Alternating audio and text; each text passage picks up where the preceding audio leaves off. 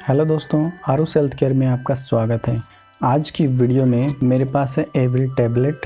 जानेंगे इसके यूज़ के बारे में इसके साइड इफ़ेक्ट इसकी क्या डोज रहेगी क्या इसके अंदर कंपोजिशन होती है। तो इस टैबलेट के बारे में पूरी जानकारी पाने के लिए वीडियो को एंड तक ज़रूर देखिएगा। तो, तो चलिए शुरुआत कर लेते हैं इसकी कंपोजिशन से। इसके अंदर फिनरामाइन मैलेट 25 एम प्रेजेंट होता है जिसका दाम नौ रुपये सात पैसे और ये 15 टैबलेट की पैकिंग में आती है।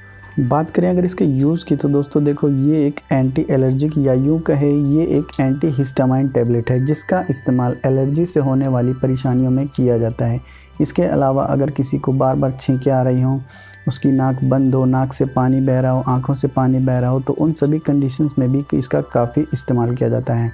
इसके अलावा अगर कोई कीड़े मकोड़े काट लें, या फिर किसी मेडिसिन से एलर्जी हो जाए रेसिस हो जाए अर्टिकेरिया हो जाए तो उन सभी कंडीशंस में भी इस टैबलेट का काफ़ी इस्तेमाल होता है।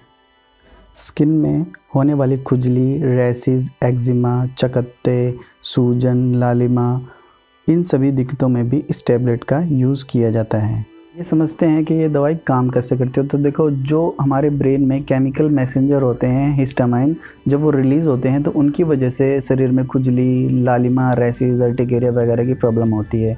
तो ये दवाई क्या करती है कि हिस्टामाइन के प्रोडक्शन को ब्लॉक कर देती है, जिससे हमें काफ़ी रिलीफ मिलता है। अब बात कर लेते हैं इसके डोज़ की। तो देखो, इसको तीन एम पर के पर डे के हिसाब से दिया जाता है। इस दवा को कभी भी लेने से पहले हमेशा अपने डॉक्टर की सलाह से ही लें। खुद से इसका सेवन कभी भी नहीं करना चाहिए। दोस्तों, बात करें इस टैबलेट के साइड इफ़ेक्ट के बारे में तो जो कॉमन साइड इफ़ेक्ट देखा गया है, वो है सबसे ज़्यादा कि इस टैबलेट को लेने से काफ़ी नींद की दिक्कत होने लगती है। आपको बार बार नींद आती है। इसके अलावा कन्फ्यूज़न की प्रॉब्लम होती है ब्लड विज़न की दिक्कत हो सकती है। तो कभी भी आप इस टैबलेट को लें तो हमेशा अपने डॉक्टर की सलाह से ही लें।